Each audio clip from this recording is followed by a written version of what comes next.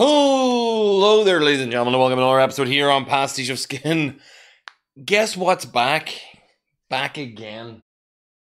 Boxes are back. So tell your friends. We are back doing unboxings here on the channel, and we've got a subscription box from abox.com. You can see the link for them in the background here. Uh, obviously, I've been in touch with them, and they actually offered to send me a subscription crate. As you can see, it is actually the Alien Covenant subscription crate for this month, and I have not opened this yet, but it is a hefty, hefty box, as you can see. So, um, yeah, this is for a couple of friends of mine. Uh, I'm going to be sending you guys the links for this directly. I think you may want to kill me for what's inside this because I've already stolen a little peek but I haven't actually like opened up what's inside here. So the Alien Covenant box at 50 bucks, 55 bucks for the box.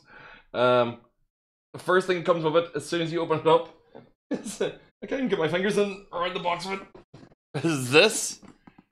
It is a posable replica face hugger from Alien Covenant. And I, I'll be honest, this is crazy. Uh, oh man, Oh man, it creeps me out just even looking at this fucking thing. Ah. Oh. Ah! Look at this motherfucker. Ah, that is fucking cool. So yeah, it is a posable rubberized alien facehugger. Um, I know a couple of friends of mine have actually like uh had ones made up, or they actually have bought ones previously. But this is cool for like this is the kind of prop that I would actually like to have. I like the concept of uh a crates kind of like there there's a high end item and then they kind of like filled up with other things as well. So we'll pop the face hugger up here.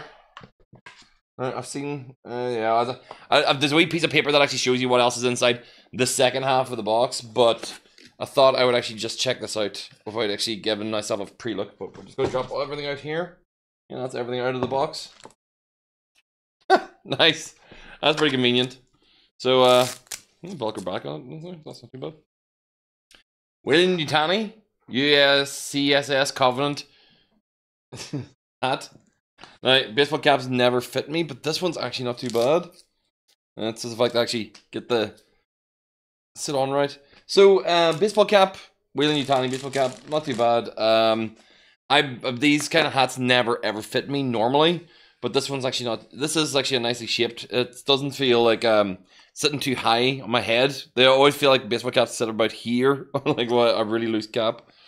So uh, we've got Alien Covenant pin badges, a set of six pin badges. Oh wow, okay, these are actually quite nice. Um, nicely detailed uh, pin badges, each one of them being either of the Covenant, uh, Flight Team, Origae for the Weyland-Yutani logo. It's actually uh, cool. Uh, I've never been a pins person. Um, even whenever I was getting the loot crates, I never actually really cared. I cared, didn't care about the pins. I kept them. I put them aside and actually put them on a nice wee bandolier to make them look cool, but never really had a big excitement for them. And a Alien Covenant bottle opener, face hugger bottle opener on a keychain. So check that out. Bottle opener on a key fob, face hugger. So that's actually quite it, it doesn't fit the the idea of the crates being like on a single theme and then actually having a bunch of objects related to that theme is pretty badass. I think the last thing in here is a t-shirt. Yeah. Yeah, it is. It is a t-shirt. Let me double check it here. Yeah, so a t-shirt with a facehugger print. So the big theme really for this is facehuggers. I mean, that is the um, Alien series altogether, really, isn't it? Pretty much, uh, it's face ripping aliens that actually uh, then gestate and dig their way out. And the Alien Covenant, obviously being a continuation of Prometheus, but not really Aliens 0.1 or 0.5. Yeah, I'm not. I'm. I'm. I'm I've actually given up on the Alien series back after Alien 3. Alien Resurrection wasn't too bad. AVP put me off, even a Predator as well. So the two franchises have actually been very, very weak to me, but I was a huge, huge fan back in the Dark Horse Comics days and the novelizations of the Aliens and Predator franchises. But the I did not know what this crate was going to be whenever it arrived. It's fucking cool as hell. What they actually put into it. The um facehugger on its own, just for uh, a prop to be on, just have sitting around. This is awesome. I, I absolutely adore it. Uh, that's fucking terrifying. I have difficulty holding it because it freaks me out a little bit too much. If you, if, the one thing that would have made it worse, if the fucking thing had came in an egg, that would have just messed me up all day. Um, T-shirt. I'm probably. I'm not going to open this up. Actually, I'm going to just, just throw up the image here and let you see what it looks like. That's actually the T-shirt there. Because I don't know if I actually want to take it out of the packaging yet. Is it? Oh yeah, no. It's. I was wondering if I thought it was like a sealed bag, but it's actually just a plastic bag. Well, I'll get it out here and get a proper look for you guys. Just have a wee see, looky see at the T-shirt. That's sort of. It is a sealed bag.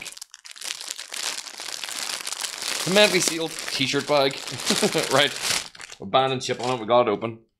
Um, I don't know who the apparel company is, but the T-shirt feels like it's of a really, really good quality.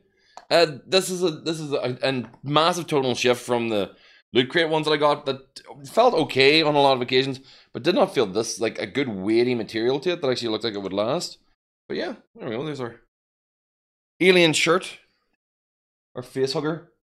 So uh, yeah, face hugger looking pretty badass. Does that actually look good on me? Yeah, red and black, man. I can pull that off. It works well with my beard. So um, yeah, that not not a lot in these crates. But uh, obviously, it goes for it goes to the opposite of, of what Loot Crate did, which was as much as it can fit into a crate, but lower in the quality. We want this just for the size of it alone, um, just for the quality of the packaging. The, it reminds me of the early days of the Loot Crate DX, which was a good time. It definitely was a good time, and um, I think I think A Box actually as a brand I didn't know much about them before I reached out to them uh, to ask about the subscription crate and a tester crate, and this is uh, like the, this is this has blown me away. Really, honestly, has because the quality of the build of the facehugger replica, it's compared to like the little cuddly toy facehugger I got from a Loot Crate well long time ago. It's um the the crate alone was for that, and I can see stuff that pops up in the background here where it shows other uh, merchandise that may have actually been available. I, I'd be on board with getting that kind of like quality merchandise on a regular basis. So uh, what does it say? Thank you for your order. Help us spread the word of A-Box taxes in your tag us in your unboxing video by July 30th. Well, of course. Uh, uh, we'll actually make sure the best subscription company through delivering your authentic quality products each time. That that surprised me, and that's pretty damn awesome. Seriously, uh, well packaged, beautifully actually rendered together. I mean, li- literally everything for everything from the box to the actual build feel, the actual quality of product. That actually was that. That's that's kind of, that. Even though it's simple pins and a bottle opener, a T-shirt, a hat, and a cool movie prop. You know what? That's all you need to do. If you actually keep a theme really solid and tight. I mean, I think the next one they're going to be doing is probably going to be a Spider-Man one. I'd be hellishly fucking interested in seeing that. I just say like a, a replica web cartridge just for the Byron. They'll, they'll, they'll do something weird as hell, but it'd be really interesting to see. Um, I'm curious what's going to be done with crates that aren't a specific theme, that are not a, a single movie or a franchise. What happens whenever they do one that's actually a mixture of movies together? do they do, does the crate itself take a, a, suffer a little bit or does it actually manage to maintain itself as actually being um a cohesively interesting crate only time will tell um hopefully the guys from a box feel like uh they want to try this again sometime because i would happily do another unboxing but they, I, i'm completely i'm blown away completely caught off guard by how good the actual like stuff is i'm taking this alien back out again i put him back in the box and it was actually like it's because I was weirded out by it. The smell itself as well. It's because it actually is a rubberized creature. Oh man, that creeps me out. Oh. Damn. Oh, it's just one giant creepy hand. Oh. Yeah. oh. I'm sorry. It's, a, it's like I'm losing words because I'm actually getting unnerved by a piece of plastic that's sitting right behind my shoulder. It just uh, the the fear in me of you know, seeing that scuttle away or looking back and it not being there is way too high. So um, yeah, guys, uh, I, I've got to put this guy away again. Thank you very much for watching. If you've enjoyed watching this unbox, I've obviously done ones for years previous. I haven't done one for a while. It's just like been no real reason to do so.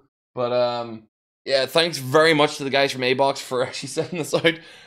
I can, I will not be able to sleep comfortably until I put this into somebody else's house.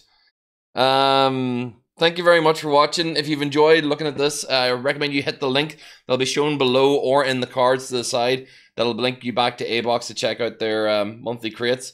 And of course, uh, check out the rest of the unboxings I've done well in the past. And if you actually feel like it, you can hit the subscribe button. Uh, it'll be somewhere around here. And um, whenever you hit the subscribe button, you'll be able to see a lot of the content that comes out here on the channel. Also, of course, if you're on YouTube, there'll be a few boxes floating around my head. One of them will be a playlist, other ones will be actually re recent episodes, and one will be one chosen specifically for you. If you don't want to actually feel like uh, subscribing to the channel, you can always just search for me under Pastiche of Skin. I'm not trying to hide. You can always find me. And I hope to see all you guys in the next unboxing. Bye.